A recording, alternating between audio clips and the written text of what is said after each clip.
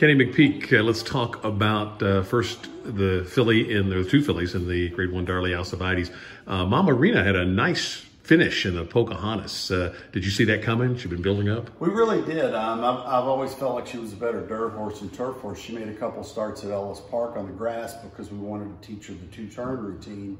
Um, she handled that well. She broke her maiden down there um, in, a, in a nice photo finish with Brian. And then her race, we waited for the Pocahontas and her race in the Pocahontas was good. He rode her well and snuck up the rail and got a pretty good piece of it being second. But um, this is nice filly. Uh, we won the race last year for Harold Lerner, and uh, we're going to take her back over there and see if we can defend it. Um, as far as the the distance, two two turns seems the farther the better. Yeah, no problem. Um, a nice, handy filly, beautiful filly, good mover, and doing everything right.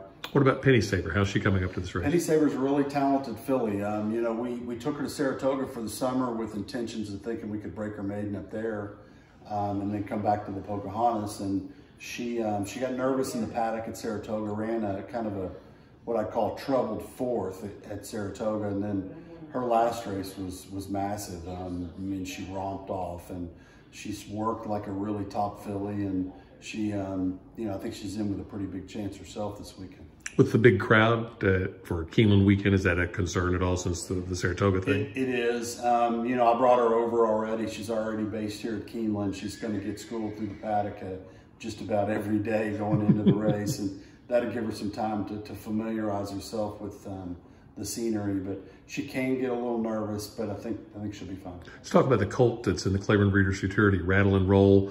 It was the 23rd, I think, broke his maiden. Mm -hmm. Tell me about that race. What impressed you? You, you know, um, what it, he came off a really rough race in Saratoga. He got hit in the eye in, uh, in his uh, two-turn race at Saratoga and bolted which was very unusual because um, I, I, don't think I've ever had a horse do that. And that was kind of indic indicative of our entire summer up there, which was eventful. Um, but he came back and, and, that was a roaring victory that he had at Churchill. And um, this horse has got high level talent himself and he's set up for the two-turn uh, game plan there. And he, he, he was so intense in his last race. I was really impressed. I think if he can take a step forward, he's got a big shot Saturday coming off a, uh, a big Churchill meet, as we see the sign there. Uh, tell me uh, how your, your barn is set up for the Keeneland meet. Well, um, I got a buddy of mine that, that uh, years ago nicknamed me McFall. and, um, you know, he's right. Um, he's, he plays the horses and he's always asking when to bet. And I think he figured out a long time ago that I do really well in September, October, and November. And of course, Keeneland being October.